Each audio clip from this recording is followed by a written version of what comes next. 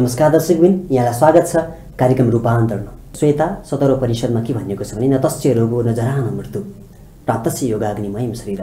जो मान्छेले योगको अग्निबाट आफ्नो शरीरलाई प्रदीप्त गराएको छ भनेदेखि न त्यसलाई रोगले सुन्छ न त्यसलाई बुढौलीले सुन्छ न त्यसलाई मृत्युले सुन्छ यो उपनिषदको वाक्य हो। पछिल्लो समयमा कोभिड नाइन्टिनको कहर पछाडि विश्वमा धेरै किसिमका वैकल्पिक उपचारको बारेमा खोजबिन जारी भइरहेको छ। तपाईँको पछिल्लो समयमा हामीले सञ्चार माध्यममा सुनिरहेका छौँ कि प्राकृतिक चिकित्साबाट अथवा आयुर्वेदिक चिकित्साबाट पनि तपाईँको कोभिडलाई नियन्त्रण गरेको कुराहरूको बारेमा चाहिँ व्यापक रूपमा प्रचार प्रसार भइरहेको छ। र तपाईँको चाहिँ क्षमता र प्रभाव भएर पनि पछिल्लो समयमा छायामा परेको विषयवस्तु भनेको चाहिँ योग हो। तपाईँको चाहिँ योगलाई चाहिँ विभिन्न आयामले व्याख्या गरेको पाइन्छ। तपाईँको चाहिँ योग भन्ने बित्तिकै जेनरली हामी के बुझ्छौँ भनेदेखि योगको सामान्य अर्थ भनेको चाहिँ आत्मा र परमात्माको मिलनलाई योग भन्ने भनेर बुझिन्छ। र अब त्यो धेरै माथिको कुरा भयो हामीलाई त्यो चाहिएको छैन र हामीलाई योगबाट चाहिएको कुरा चाहिँ के भन्नुहुन्छ भनेदेखि चाहिँ यो रोगबाट यो तनावबाट शारीरिक र मानसिक रोगबाट कष्टबाट मुक्ति मुक्तिको लागि योगबाट हामी कसरी अगाडि बढ्न सक्छौँ त भन्ने हाम्रो यो खोज हो। यो खोजमा चाहिँ अहिले विश्वका विभिन्न वैज्ञानिकहरूले विभिन्न युनिभर्सिटीमा योगको धेरै प्रयोगहरू भइरहेको छ। विशेष गरी नसर्ने रोगमा नसर्ने रोगहरूमा चाहिँ योगको धेरै ठुलो प्रभाव परिरहेको छ र पछिल्लो समयमा जुन तपाईँको चाहिँ जस्तै यो कोभिडका चाहिँ तपाईँको सङ्क्रमणहरूबाट बस्नको लागि पनि प्राणायामबाट योग अन्तर्गतको प्राणायामबाट आसनबाट तपाईँको इम्युन सिस्टम एकदम बलियो हुन्छ। तपाईँको मानसिक रूपमा तपाईँ सशक्त हुनुहुन्छ भन्ने कुरा चाहिँ प्रमाणित भइरहेको छ। त्यसको कारणले गर्दा चाहिँ हामी योगमा चाहिँ अब अगाडि बढ्ने कि अगाडि बढ्ने बेला भयो कि भन्ने कुरा चाहिँ अब हाम्रो खोजको विषयवस्तु रहेको छ। फेरि योग परको पनि पनि चिज होइन यो हाम्रै भूमिको हाम्रै चाहिँ तपाईँको चाहिँ पूर्वीय सभ्यताको चिज हो जुन हामीले हिजो हिजो हाम्रो बाबुबाजेले गरिरहेका चिजहरू हुन्। आज हामीले यसलाई बिर्सेको छौँ र अब चाहिने बेलामा चाहिँ अब यसलाई हामी चाहिँ थाहा पाउनुपर्छ किनभने नजिकको तीर्थ हेला भने जस्तै हामीले हाम्रो लागि चाहिँ यो इम्युन सिस्टम बढाउने काम चाहिँ योबाट गर्न सक्थ्यौँ। पछिल्लो समयमा तपाईँको कोभिड नाइन्टिनबाट सङ्क्रमणबाट मृत्यु हुने सङ्ख्या पन्ध्र सय दुई हजारको सङ्ख्यामा पुगेको चाहिँ छ भने तपाईँको यो कोभिडको त्रासबाट बयालिस सयभन्दा बढी मान्छेले सुसाइड गरेको कुरा चाहिँ तपाईँको तथ्याङ्कमा आएको छ। सुसाइडको चाहिँ बाहिरी कारण चाहिँ भए पनि अन्तिममा एउटा डिप्रेसन तपाईँको फ्रस्ट्रेसन देखिन्छ तपाईँको मानसिक समस्या नभइकन मान्छे आत्महत्यातर्फ जाँदैन त्यो मानसिक समस्या पनि विभिन्न कारणले हुन्छ तर योग यस्तो चिज हो जसले तपाईँलाई मानसिक समस्याबाट मानसिक तनावबाट बचाउँछ।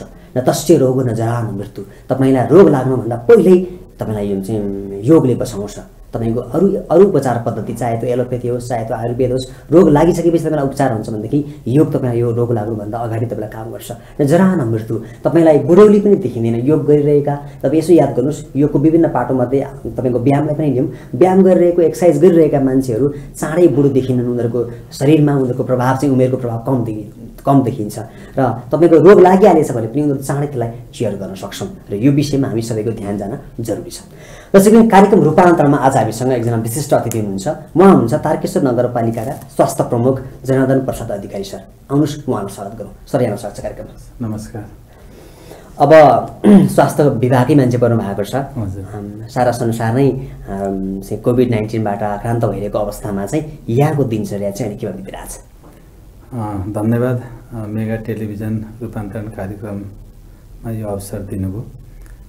अहिले जुन हजुरले सोध्नुभएको क्वेसन जुन छ अहिले साँच्चै देश नै जुन किसिमको एउटा माहौल छ कोभिड नाइन्टिनको यसबाट सबैजना जुनसुकै परिवेशबाट पनि अछुतो रहन सकेका छैनन्।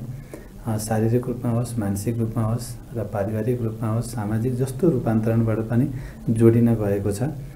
त्यसले गर्दा यस्तै किसिमले चलिराखेको छ जनताको सेवाको लागि तारकेश्वर नगरपालिकाको सम्पूर्ण जनताहरूको सेवाको लागि जनप्रतिनिधि जनप्रतिनिधिज्यूहरू नगर प्रमुखज्यूहरू लगायत सबैजनाहरूको एउटा मार्गनिर्देशनबाट चलिराखेको चलिरहनु भएको छ है। सर अब मैले जान्न खोजेको चाहिँ तारकेश्वरमा तारकेश्वर नगरपालिकामा कतिजना मान्छेहरू कोभिडबाट सङ्क्रमित हुनुभयो कतिजना मान्छे ठिक हुनुभयो अथवा कतिजना मान्छेको मृत्यु भयो यहाँ यहाँ चाहिँ यहाँसम्म यहाँसम्म चाहिँ यसको केही डाटा छ? छ धन्यवाद।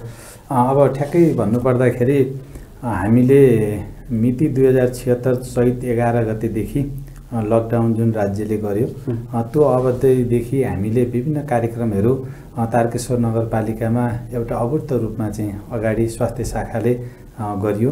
यसको लागि सिङ्गो हाम्रो नगरपालिकाको जनप्रतिनिधिज्यूहरू र यसमा अहोरात खटेर नगर प्रमुखज्यू रामेश्वर बोहराज्यू यसमा लागेको लागै हुनुहुन्छ। हामीलाई मार्ग निर्देशन दिएको दिएको हुनुहुन्छ नगर प्रमुखज्यूले। त्यो बेलादेखि नै हामीले जनप्रतिनिधिज्यूहरू कर्मचारीहरू र स्वास्थ्यकर्मी साथीहरूलाई चेतनामूलक कार्यक्रम मार्फत चाहिँ हामीले जनसमुदायमा जानुपर्छ भनेर अगाडि बढायौँ होइन? यसै गरी महिला स्वयंसेविका सबैभन्दा ठुलो कुरो तारकेश्वर नगरपालिकामा सबै ठाउँमा भएका महिला स्वयंसेविकाहरू वडाका स्तरीय चाहिँ के त भन्दाखेरि जनप्रतिनिधिहरू वडामा भएका सबैजनालाई हामीले यो कार्यक्रम कोभिड नाइन्टिन सम्बन्धी कार्यक्रमबाट चाहिँ हामीले एउटा जनचेतनामूलक रूपमा चाहिँ लानुपर्छ भन्दा माइकिङको कार्यक्रम गऱ्यौँ पोस्टरहरू ब्यानरहरू सबै कुरो गरेर र सबैभन्दा महत्त्वपूर्ण कुरो त्यसमा चाहिँ तिनवटा कुरोलाई हामीले दिएका थियौँ। हामीले प्रत्येकचोटि सकिन्छ भनेदेखि दस मिनट पन्ध्र मिनट बिस मिनट जतिखेर भए पनि हामी कुनै ठाउँमा जान्छौँ भनेदेखि हात धोएर साबुन पानीले हात धोएर चाहिँ के त भन्दा हामी भित्र पसौँ र बाहिर निस्किँदा पनि हात धौँ भन्ने कुरो अर्को कुरो डिस्टेन्स कायम गरेर मेन्टेन्स गरेर बसौँ भन्ने कुरो हामीले प्रत्येक दिन सिकाएका छौँ र सबैभन्दा महत्त्व कुरो चाहिँ के त भन्दाखेरि मास्क लगाएर हामीले संवाद गर्नुपर्छ। हामीले जस्तो अहिले तपाईँ र म यहाँ छौँ हाम्रो दूरी कायम भएको छ। यसले के नै असर गर्दैन? नजिक बस्दाखेरि प्रत्येक व्यक्तिसँग कुरो गर्दाखेरि मास्कको प्रयोग गरौँ होइन। भन्ने किसिमको सन्देश हामीले पुर्यायौँ। र त्यतिखेर हामीलाई राज्यले आरडिटी गर्नुपर्छ भन्ने किसिमको कुरो जनतासँग चाहिँ के त भन्दाखेरि कोभिड सम्बन्धी चाहिँ ऱ्यापिड डायग्नोसिस टेस्ट गर्नुपर्छ भनेर एउटा प्रावधान लिएर आयो। त्यसमा हामीले टोटल दुई सय उनासत्तरीजनाको चाहिँ हामीले टेस्ट गरायौँ। त्यतिखेरको। परिप्रेक्ष्यमा हजुर। होइन? र स्वास्थ्य कर्मीहरू दस बजेदेखि पाँच बजेसम्म बिहान छ बजेदेखि नै आएर अब रात उहाँहरूले काम गर्नुभयो। यीबाट म धन्यवाद दिन चाहन्छु। हजुर। यसको लागि ठ्याक्कै भन्नुपर्दाखेरि फेरि मैले दोहोऱ्याएँ। हामीलाई स्वास्थ्य कर्मीलाई सिङ्गो तारकेश्वर नगरपालिकाको जनप्रतिनिधिज्यूहरूले हुँदै हुनुहुन्छ। यसमा तारकेश्वर नगरपालिकाको नगर प्रमुखज्यूले हामीलाई अगो रात हामीलाई सन्देश म राति एघार बजेको हुन्छ उहाँले फोन गर्नुहुन्छ. ए बाबु के छ अहिलेको अपडेट भन्नु त्यति चिन्तित भएर। जनतालाई जनताप्रति त्यति मात्रामा चाहिँ चिन्तित भएर खटिने जनप्रतिनिधि मलाई अब मैले उहाँको बढाइ गरेको होइन। यहाँ अब सन्देश अप्ठ्यारो जाला होइन। त्यति एउटा के त भन्दाखेरि जनताप्रति चाहिँ एउटा विश्वस्त भएर चाहिँ लागेको जनप्रतिनिधि चाहिँ मैले आवाज ठिक छ। सर मैले यो ठ्याक्कै विषयमा केन्द्रित हौँ मैले। जस्तो तपाईँले सङ्क्रमित कति हुनुभयो। त्यो डाटा पछि अनि फेरि हामी त्यसमा हुन्छ। सर। अब टोटल हामीले पिसिआर चाहिँ बत्तिस सय छैसठीजनाको गऱ्यौँ होइन। र हामीले निको टोटल पोजिटिभ केस चाहिँ चौध सय बिसजना हुनुहुन्छ। हजुर। चौध सय बिस। र निको भएको क्योर चाहिँ निको भएको चाहिँ हाम्रो तिन सय बयासीजना हुनुहुन्छ। यो चाहिँ प्रत्येक वडाहरूमा चाहिँ फरक फरक छ। टोटलमा चाहिँ अहिले मैले हजुरलाई यही दिएँ. अँ, यही नै छ अहिले। सङ्क्रमितहरू अहिले घरमा हुनुहुन्छ अस्पतालमा हुनुहुन्छ के छ सर अवस्था? अब यो चाहिँ के छ त भन्दाखेरि सङ्क्रमितहरूलाई तारकेश्वर नगरपालिकाबाट चाहिँ पोषणको लागि भनेर हामीले नगरपालिकाको कार्यपालिकाको बैठकले निर्णय गरेर पाँच हजार रुपियाँ चाहिँ पोषण बापत चाहिँ दिने है। भन्ने किसिमको निर्णय। सबैलाई उपलब्ध भइरहेको छ? अहिलेसम्म भइराखेको छ हजुर। अहिलेसम्म त्यो चाहिँ दिइराखेको अवस्था यता छ केन्द्रले के निर्णय ल्याएको छ भनेदेखि अब हामीले सक्दैनौँ उपचार गर्न भन्ने थियो हिजोको। बेलामा चाहिँ तपाईँको आइसोलेसनमा बस्दाखेरिको सम्पूर्ण खर्च राज्यले उठाउँथ्यो उपचारको सबै खर्च राज्यले उठाउँथ्यो भनेदेखि अहिले चाहिँ त्यो खर्च उठाउँदैन भन्ने कुरा भएको छ अहिले भनेपछि स्थानीय स्तरले यसलाई रोकेको छ कि छैन पाँच हजारलाई अब ठ्याक्कै तपाईँले भनेको कुरोमा धन्यवाद छ। पाँच हजार रुपियाँलाई अहिले रोक्ने स्थिति भइसकेको छैन। होइन. अब के छ त भन्दाखेरि निर्णय भएको कुरोलाई अस्तिको फेरि कार्यपालिकाको बैठकले पन्ध्र गतेसम्म. यो पन्ध्र गतेसम्म जस जसको चाहिँ पोजिटिभ आएको हुन्छ. र आएको छ. ती व्यक्तिहरूलाई चाहिँ के त भन्दाखेरि तारकेश्वर नगरपालिकाको घेराभित्र बसेका जस्तो तारकेश्वर नगरपालिकाको बासिन्दा हुनु पर्यो भोटर हुनु पर्यो यहाँको स्थायी हुनु पर्यो र डेरैमै बसेको छ भने पनि त्यो घरबेटीले चाहिँ प्रमाणित गरेको पेपर हुनु पर्यो ओडाले चाहिँ दिएको प्रमाणित पेपर। र पिसिआर गर्दाखेरि स्वाब टेस्ट गर्दाखेरि चाहिँ पोजिटिभ आएको.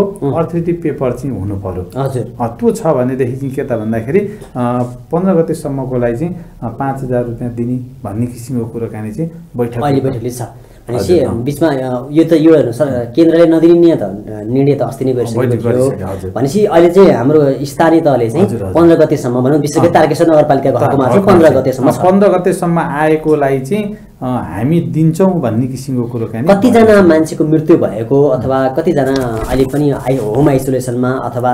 कतै छन् यसको केही तपाईँसँग छ सबै सबै हामीसँग छ। हामीले अप टु डेट प्रत्येक दिन गरेका छौँ। अब जस्तो के छ त भन्दाखेरि सङ्क्रमित मैले भनिहालेँ चौध सय बिस छ होइन? र क्योर भएको तिन सय बयासीजना छ. मृत्यु भएको अहिलेसम्म हाम्रो पाँचजना हुनुहुन्छ। हजुर। मृत्यु भएको तारकेश्वर नगरपालिकामा आधिकारिक रूपमा पुष्टि भएर आएको चाहिँ कोभिडबाट. मृत्यु भएको चाहिँ हामीसँग चाहिँ पाँचजना डाटा छ। बाँकी मान्छे होम आइसोलेसनमा छन् कि कतै हामीले आइसोलेसन व्यवस्थामा गरेर राखेका छौँ र एक्टिभ केस हाल चाहिँ सङ्क्रमित सङ्ख्या चाहिँ यो सबै गर्दाखेरि चाहिँ एघार हजार तेत्तिसजना चाहिँ हाम्रो चाहिँ हाल हुनुहुन्छ भने यसमा चाहिँ अब अर्को के छ त भन्दाखेरि पिसिआर बाहेकको बाहिरबाट चाहिँ आउनुभएको मान्छेहरू चाहिँ अलिकति उन्चालिसजना चाहिँ यसमा थपिएको छ। म यसमा ठ्याक्कै हजुरले सोधेको अब यहाँ कुरो के छ त भन्दाखेरि पोजिटिभ भएको छ स्वाब टेस्ट गर्दा। उहाँहरूलाई तारकेश्वर नगरपालिकाले पोषणको लागि भनेर पाँच हजार रुपियाँ दिएको छ। हजुर। गम्भीर कुरो छ। हजुर। अब पाँच हजार रुपियाँ दिइसकेपछि उहाँहरू घरमा बस्नुहुन्छ। हजुर। उहाँहरूको टोइलेट पनि छ। बालबच्चासँग पनि बाहिरबाट चाहिँ गफ हुन्छ भित्र नआए पनि। भनेदेखि सामाजिक रूपमा उहाँहरू जुन किसिमले उहाँहरूलाई घरबाट निस्किँदाखेरि जुन किसिमको एउटा भावनात्मक रूपबाट पीडा हुन्थ्यो त्यही घरमा पोसिलो कुरो खाएर बस्दाखेरि त उहाँहरूको भावनात्मक रूपबाट त नजिक भयो नि त परिवारबाट। अघि नै हजुरले जोडेको कुरो यसबाट दुईवटा कुरोलाई चाहिँ असर परेको छ। परेको छैन। किन छैन त भन्दाखेरि दुईवटा कुरो चाहिँ घटेको छ. जस्तो एउटा सुसाइड गर्ने केस जुन किसिमको बढेको थियो. अहिले तारकेश्वरमा घटेको छ। किन घटेको छ त भन्दाखेरि त्यही चिजले घटेको। अब कसैले भन्छ होम आइसोलेसनमा छन्। होम आइसोलेसनमा बस्नुभएको छ.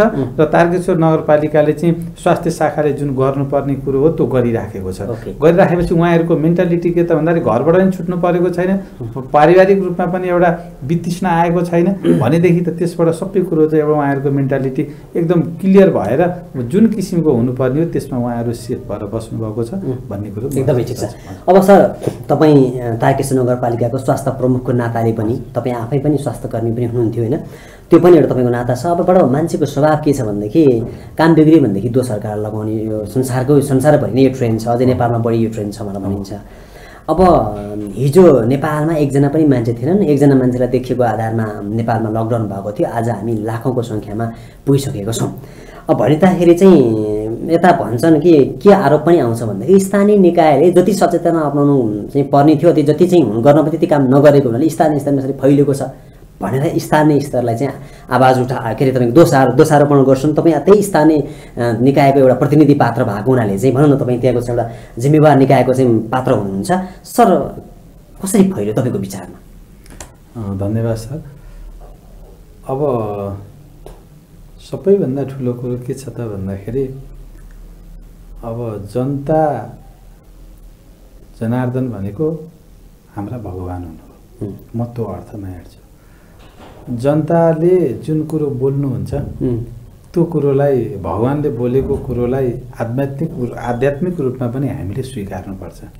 म त यहीँबाट के भन्न चाहन्छु भने जनता जनार्दन भनेका भगवान् हुन्। उहाँहरूले कहिले गल्ती कुरो बोल्नुहुन्न?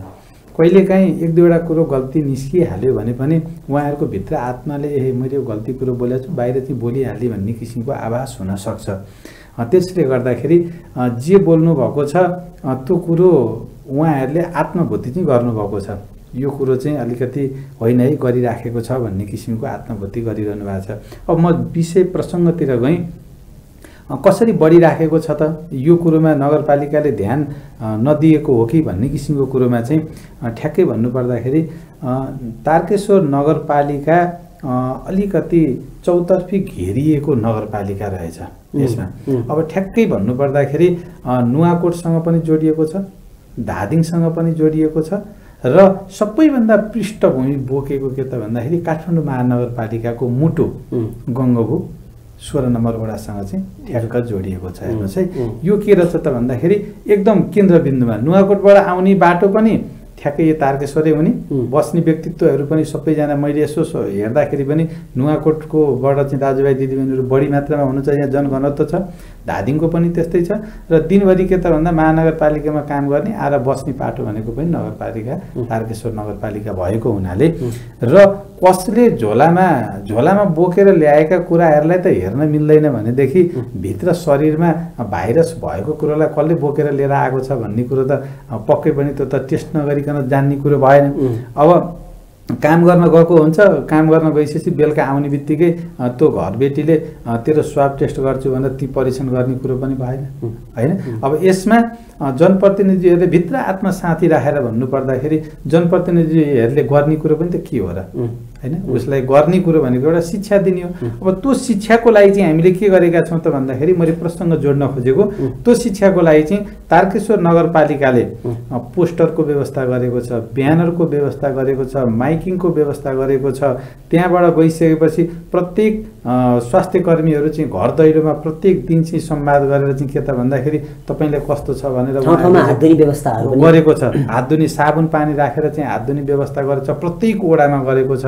भनेदेखि अ, चोक चोकमा पनि के त भन्दाखेरि त्यो व्यवस्था गरेको छ भने जनताले घरबाट निस्किसकेपछि चोकमा चाहिँ बाल्टिन र साबुन छ भनेदेखि र ठुलो ट्याङ्कर छ ट्याङ्की छ भनेदेखि डिटोल पनि त्यहीँ छ अ, साबुन पनि त्यहीँ छ भनेदेखि हात धुनलाई त जनप्रतिनिधिज्यू हेरेर स्वास्थ्य कर्मी जाने कुरो त भएन। भएन। म त तपाईँको कुराबाट आशय के। बुझ्यो भनेदेखि जनताहरू जति सचेत हुनुपर्ने थियो। त्यो सचेत भएर चाहिँ व्यवहार गरेको भइदा यसरी सल्किँदै हिँड्थ्यो भन्ने कुरा रह्यो होइन? त्यति पनि नभनौँ। जनता असाध्यै सचेत हुनुहुन्छ जनता अ, भगवान्हरूलाई सबै कुरो थाहा छ। यो भयो भनेदेखि हामी सङ्क्रमित हुन्छौँ भन्ने कुरो पनि थाहा छ।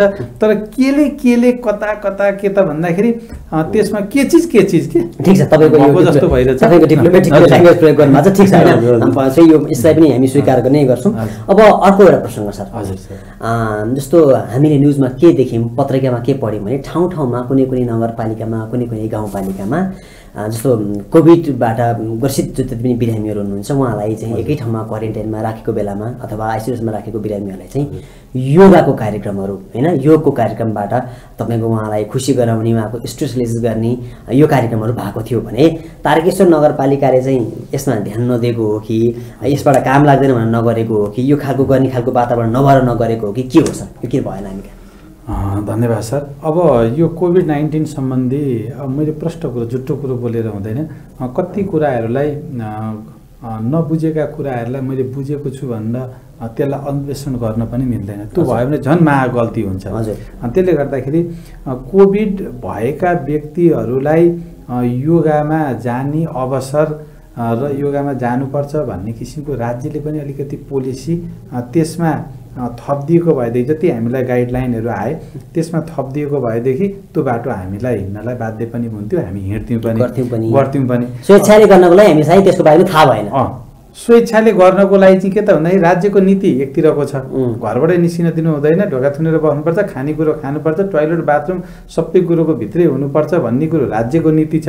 अब त्यो नीति विपरीत के त भन्दाखेरि हामीले चाहिँ ल तपाईँहरू चाहिँ डमरू बजाउँदै चाहिँ योगामा आउनुहोस् भन्न भन्यो भनेदेखि त राज्यले भोलि हामीलाई त त्यो दायराबाट अलिकति पर बनाउँछ। र हामीलाई के त भन्दाखेरि कारवाही गर्न पनि सक्ने स्थिति हुन्छ। त्यसले गर्दाखेरि यी विषय डब्लुएचओको प्रोटोकल भन्दा बाहिर गएर काम गर्न सकेन सकिएन। होइन यो यो तपाईँ यो त तपाईँले पढ्नु पनि भएको थियो। ठाउँमा गाउँपालिकामा सामूहिक बिरामी भएका मान्छेलाई। धेरै दूरी पालना गरेर धेरै साथीहरूले सिकाउनु भएको चाहिँ पोजिटिभ रेस्पोन्स पनि पाएको छ। अब अर्को प्रसङ्ग है सर हजुर, हजुर, यसैमा। हजुर। अँ, जस्तो एक थरी मान्छे चाहिँ कोभिड भने केही पनि होइन यो केही होइन यो सामान्य रोग हो भनेर भनेर पनि भा- भनेका छन्। एक थरी मान्छे असाध्यै डराएका छन् डराइसकेपछि आज कतिजना मऱ्यो हिजो कतिजना मऱ्यो कतिजना भयो ल बर्बाद भयो भन्दै असाध्यै चाहिँ पीडामा बसेका छन्। तपाईँ आफ्नै स्वास्थ्यकर्मी भएको नाताले वास्तवमा यो कोभिडलाई लिने चाहिँ कसरी छ? मैले ठ्याक्कै जोडेँ। यो संसारमा विश्वमा हामीभन्दा धेरै ठुला ठुला विकसित राज्यहरू छन् राष्ट्रहरू छन्। उनीहरूले जुन किसिमको तरिकाले जुन किसिमको विश्लेषण गरेर विद्वानहरूले आएको छ त्यो आएको कुरोलाई हामीले हाम्रो देशबाट र हामी स्वास्थ्य कर्मीहरूबाट र सिङ्गो हाम्रो नगरपालिकाबाट यो कुरो केही होइन भनेर भन्यो भने के हुन्छ त भन्दाखेरि उज्यालो भएको ठाउँमा उम्. अन्धकार छ भनेर भन्यो भनेदेखि अन्धकार छ भनेर आँखा चिम्ले जस्तै भयो। आँखा चिम्ला जस्तै भयो। त्यसले गर्दाखेरि यो केही चाहिँ हो। केही चाहिँ हो। तर केही हो तर यसबाट बच्ने उपाय पनि छ है बच्ने उपाय त प्रष्ट रूपमा छ। तिनवटा कुरोको पालना गर्यो भनेदेखि बच्न सकिन्छ। अनि हुँदैन पनि मान्छे मरिहाल्ने त होइन रहेछ नि? यसको छ अब यसलाई के छ भनेदेखि यो अलिकति लामो प्रश्नको उत्तर हुन जान्छ. हुने बित्तिकै मरिहाल्ने होइन। यो पटक्कै होइन. यो केही पनि छैन। यो एउटै कुरो के छ त भन्दा उसको दीर्घ रोग र एज फ्याक्टर चाहिँ अलिकति हाई छ. र दीर्घ रोगी छ भनेदेखि यो लागिसकेपछि उनलाई अलिकति गाह्रो हुन सक्छ। ओके। त्यो कुरामा विशेष सचेतना अप्नाउनु पर्यो अप्नाउनु पर्यो त्यति हो। हाम्रो घरमा बुवा आमा वृद्ध हुनुहुन्छ भनेदेखि जस्तो उदाहरणको लागि के त भन्दाखेरि हामीले अक्सिजनको सिलिन्डर राख्ने होइन दमका रोगीहरू दमका रोगीहरू हुन्छ भने त्यही किसिमको. व्यवस्थापन गर्ने. र हामीले के त भन्दाखेरि कुनै कुरो पाँच मिनट गरेर सिकेर हुन्छ भनेदेखि सिक्ने. इमर्जेन्सीको लागि चाहिँ के चिज आवश्यकता पर्छ भनेर हामीले मेन्टेन्स गर्ने अब त्यो जोगाडतिर चाहिँ लाग्नु एकदमै। सर अब लगभग अन्तिम प्रश्न यो। विषयको है कोभिडबाट अहिलेसम्म विश्वमै भनौँ न दस बाह्र लाख कति मान्छे मरेका छन्। नेपालको हकमा चाहिँ हामी दुई हजार जतिको हाराहारी पुग्न आँट्यौँ होला। तर तपाईँ त स्वास्थ्यमा काम गरेको लामो वर्ष वर्ष बिताउनु भयो सर होइन? कोभिडको कारणले भन्दा पनि यहाँ त क्यान्सरको कारणले मुटु रोगको कारणले प्रेसरको कारणले अरू अरू कारणले त धेरै मान्छे मर्थे नि सर। के लाग्छ सर? धेरै मान्छेको गुनासो के छ भने कोभिडको कारण कोभिड आइसकेपछि कोभिडलाई देखाएर अरू रोगीहरू अथवा अरू रोगबाट पीडित भएका मान्छेहरूलाई चाहिँ छायामा पारियो उनीहरूलाई दिनुपर्ने सुविधाहरू पनि दिन पाइएन उनीहरू पछि परे भन्दा चाहिँ एउटा गुनासो आउँछ। यो केन्द्रीय तहमा अथवा स्थायी तहमा यसै गुनासो गर्छन् सर। यो चाहिँ के हो सर? यो सत्य कुरो हो। यो किन सत्य कुरो हो भने एकजना क्यान्सर भएको व्यक्ति हजुर। हाम्रै बुवा हाम्रै आमा हाम्रै दाजुभाइहरू हुन सक्छन्। अँ, उहाँहरूलाई जचाउन कुनै ठाउँमा लाँदाखेरि पहिले लाने बित्तिकै कोभिडको परीक्षण गर्नुपर्छ। उसलाई उसको कुन लेभलको त्यो चिज छ उसलाई दस मिनट ढिलो भयो भनेदेखि उसको डेथ हुन सक्छ कि सक्दैन भनेर कसैले पनि हेर्दैन मै पनि हेर्दैन. तर पहिले उसलाई कोभिड छ कि छैन भनेर टेस्ट गरिन्छ. त्यसको टेस्टको दायरा कति घन्टामा कति मिनटमा आउने भन्ने कुरा आफ्नै नियम छ. त्यो आउन्जेलीसम्म के त भन्दाखेरि उसलाई अरू ट्रिटमेन्ट गर्नु पनि अप्ठ्यारो धेरै। मान्छे मरे सर सुन्नुभयो किनभने सत्य कुरोलाई सत्य कुरोलाई सत्यको रूपमा बोल्नुपर्छ। कहिलेकाहीँ तितो पनि हुन जान्छ। तर एउटा कुरो चाहिँ के त भन्दा अहिले अलिकति फङ्सन केमा मिलेको छैन त भन्दाखेरि राज्यले गर्न खोजेको कुरो सरकारले गर्न खोजेको कुरो एकदम राम्रो छ. कुनै हस्पिटल छ भनेदेखि त्यो हस्पिटलमा यतिवटा बेड चाहिँ के त भन्दाखेरि कोभिडको लागि छुट्याइदिने र त्यसलाई त्यो पाटोबाट कोभिडको ट्रिटमेन्ट गर्दै जाने अर्को पाटोबाट अर्को ट्रिटमेन्ट गर्दै जाने भनेर राज्यले भनिदिएको छ. तर यहाँ नभनौँ होइन?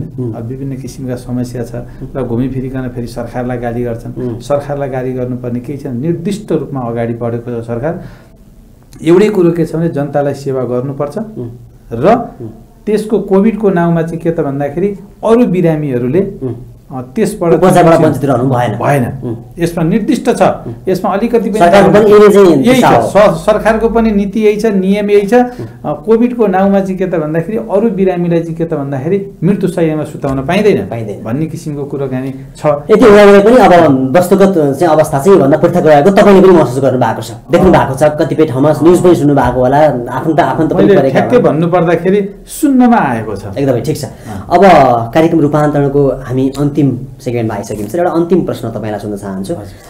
तपाईँको जीवनको रूपान्तरण होइन? हिजो तपाईँ गाउँमै जन्मिनु भयो जनार्दन भनेर भन्थे यताउति। भन्थे आज तपाईँ एउटा स्वास्थ्य विभागमा काम गर्दा गर्दै नगरपालिकामा आएर चाहिँ स्वास्थ्य विभागको प्रमुख हुनुभएको छ।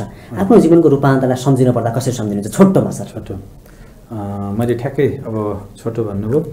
मानिस जन्मिसकेपछि उसलाई थाहा हुँदैन। जब थाहा हुने एउटा समय आउँछ एउटा उसको डेभलप मेन्टालिटीदेखि लिएर शारीरिक फिजिकल सबै जुन डेभलप भइसकेपछि। मान्छेले दुईवटा कुरो बुझ्नुपर्छ म एकदम सत्यको बाटोमा लाग्नको लागि दुईवटा कुरो के बुझ्नुपर्छ त भन्दा मैले भोलि जाने बाटो भनेको एउटै हो। कसैले छेक्न सक्दैन। त्यो जाने बाटोको ठाउँसम्म पुगुन्जेलीसम्म मैले जुन ठाउँमा बसेर काम गर्छु। त्यसमा सही किसिमले योगदान दिनुपर्छ। र त्यहाँबाट जाँदाखेरि पनि त्यो ठाउँका व्यक्तित्वहरूले चाहिँ के त भन्दाखेरि सम्झिने एउटा वातावरण क्रिएट गर्नुपर्छ। एक नम्बर। अर्को बाटो भनेको के त भन्दा मैले देखेको अहिले परापूर्व कालदेखि ऋषिमुनिहरूले हाम्रा हजुरबुवाहरूले ध्यान गर्नुहुन्थ्यो होइन? योगा गर्नुहुन्थ्यो सबै कुराहरू गर्नुहुन्थ्यो। त्यो पाटो बिचमा आएर हराइसकेको थियो. अहिलेको जेनेरेसनले फेरि के त भन्दाखेरि त्यो पाटोलाई केही मात्रामा अवलम्बन लागेका छन् अवलम्बन गर्न लागेका छन्। त्यो जुनसुकै होस् शरीर घटाउन होस् जेसुकै गर्नलाई होस् सत्यको बाटो र सहीको बाटोमा लागेका छन् भन्ने किसिमको कुराकानी म भन्छु। र अहिले मैले भन्नुपर्दा हुन त भन्नु हुँदैन भन्छन्।